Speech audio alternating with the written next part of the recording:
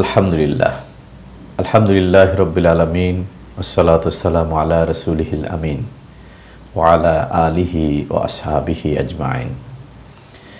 সুপ্রিয় রোজাদার ভাই বোনেরা, আসসালামু আলাইকুম রহমতুল্লাহি বরকাত রহমত ঘেরা রমাদান এবাদাতের বসন্ত রমাদান। চারিদিকে পবিত্র আবহে আমরা যে সময়কালটি পার করছি সিয়াম পালনকারী দিনে আর রাতে হচ্ছে কেয়ামুল লাইল, কেয়ামে কাটানোর মানুষ, আমরা যারা। অর্থাৎ রমাদানের অনেক পরিচয়ের মধ্যে একটি পরিচয় হলো, যেটি সিয়ামের মাস, এটি কেয়ামের মাস, এটি কোরআনের মাস। তো কেয়ামুল লাইল আমরা যারা করি, আমাদের দেশে এ বিষয়ে যে প্রসঙ্গটি আমাদের কাছে খুবই পরিচিত, সেটা হলো এবং সেটা নিয়ে আজকে কথা বলতে চাই সেটা হলো তারাবির সালাতের ফজিলত সম্পর্কে। সুপ্রিয় দর্শক শ্রোতা, শব্দগতভাবে তারাবিহ শব্দটি আরবি শব্দ তারবিহাতুন থেকে এর অর্থ হলো ইস্তেরাহাত বা আরাম করা, বিশ্রাম করা, থেমে থেমে কোনো কাজ করা। তাহলে কি দাঁড়াল? যে রামাদান মাসে একজন মানুষ সিয়াম পালনকারী রাতে থেমে থেমে বিশ্রাম নিয়ে যে সালাদ আদায় করবেন, সেই সালাদটিকে আমরা তারাবি সালাদ বলি। দুর্ভাগ্যজনক হলেও সত্য যে আমাদের সমাজের দিনদার, ইমানদার, সিয়াম পালনকারী তাকুয়ার লক্ষ্যে প্রচেষ্টারত ভাই বোনদের মধ্যে অনাকাঙ্ক্ষিত একটি বিষয় বড় পেয়ে বসেছে। আমি আজকে সে বিষয়টি থেকে বিনয়ের সাথে দূরে থাকার জন্য অনুরোধ করব। সেটি কি? যে তারাবি না কিয়ামল লাইল? হ্যাঁ তারাবি তো একটি সালাতেরই নাম। যেটি নবীজি সাল্লাহ সাল্লাম পড়েছেন। মায়েশা সিদ্দিকার দেল্লাহ তাল আনহা বর্ণনা থেকে এসছে, যেটি সহি বুখারি থেকে শুরু করে সহি সনদে অনেক গ্রন্থে এসেছে। হ্যাঁ তিনি কদিন পড়েছেন, করাকাত পড়েছেন, সেগুলো বর্ণনার মধ্যে তারতম্য আছে আমরা শুনি। তিন দিন বা চার দিন তিনি পড়েছেন, এরপরে তিনি বাদ দিয়েছেন। কেন বাদ দিয়েছেন? যে সারাদিন সিয়ামের মতো কঠিন কাজ করে একজন সিয়াম পালনকারী রাতে একান্তে তার রবের সাথে নিজের মতো করে আদায় করবে। সেটিকে যদি জামাতবদ্ধ করা হয়, তাহলে সেটি বিধিবদ্ধ অর্থাৎ আরেকটি ফরজ না হয়ে যায়। উম্মাতের কল্যাণ চিন্তায় নবীজি সাল্লাহ সাল্লাম এটিকে নিয়মিত নিজের জন্য করেননি। কিন্তু তিনি কোনোদিন পড়েননি, বিষয়টি এমন নন। তো আমি যেটা বলছিলাম কেমন লাইল না তারাবি, এটি বিতর্কের বিষয় নয়।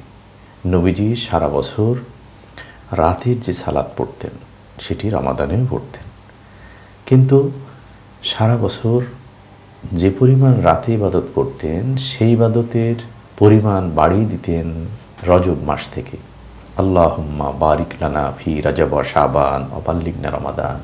ও আল্লাহ এই রজবের বরকত দাও সাবানের বরকত দাও, রামাদান পর্যন্ত পৌঁছে দাও। রামাদান আসার আগে দুই মাস আগ থেকে নিজে, পরিবার, বন্ধুদের নিয়ে, সাথীদের নিয়ে প্রস্তুতি নিতেন অধিক এবাদতের সুতরাং কেয়ামুল লাইল বা রাতে দাঁড়ানো, রাতের নামাজটা, সালাদটা তিনি যা পড়তেন, সারা বছর পড়তেন, রমাদানেও পড়তেন রমাদানে তিনি অধিক সময় কাটাতেন এবং রমাদানের শেষ দশকটি তো এতেকাপেই মসজিদেই নিজেদেরকে বন্দি করে আবদ্ধ করে রাখতেন এতেকাপ নামক আনুষ্ঠানিকতার মধ্য দিয়ে। সুতরাং রাকাত সংখ্যা বিষয় নাই। রাকাত নিয়ে আমরা বিতর্কে যাব না। পরিভাষা তারাবি বা কিয়ামন লাইল নিয়ে বিতর্কে যাব না। আমরা কোয়ালিটি নিয়ে আট রাকাত, বারো রাকাত, বিশ রাকাত এই সংখ্যার বিতর্কে আমরা যাব না। আমাদের বিতর্কহীনভাবে তারাবির সালাত আমাদের সমাজে যেগুলো আছে, সেগুলোতে শরিক হন। সেখানে কোরআন তেলাওয়াত হচ্ছে, সেই তেলাওয়াত শোনেন। যেটি রাতে শুনবেন, সেটি দিনে পড়ে যান, অর্থসহ পড়েন। যেটি রাতে শুনলেন, সেটি আবার পড়েন। তাহলে তিনবার কোরআন শোনা বা পড়ার সুযোগ হয়ে যায়। রাতে যেটা শুনবেন, সেটি পড়ে যান। সালাতের মধ্যে শোনেন, সালাতের পরে আবার আর একবার পড়েন। এবং কোরআন বুঝে পড়তে হবে। কোরআন বুঝতে চেষ্টা করতে হবে। কারণ কোরআন যদি বুঝতে না পারেন, আদেশ মানবেন কি করে? সুতরাং কোরআনের মাসে তারাবি নামক এই সালাতের মধ্য দিয়ে আমাদের কোরআন বোঝার প্রচেষ্টা থাকা উচিত।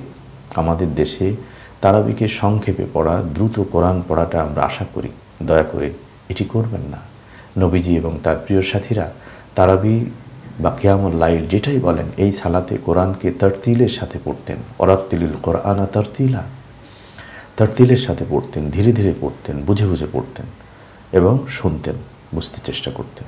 সুপ্রিয় দর্শক শ্রোতা, তাই আসুন, তারাবি নিয়ে বিতর্ক নয় কেমন লাইল নিয়ে বিতর্ক নয়, বরঞ্চ আপনি তারাবি পড়েন কেমন লাইল পড়েন যেটিই পড়েন, দুটোরই দলিল আছে, পড়েন।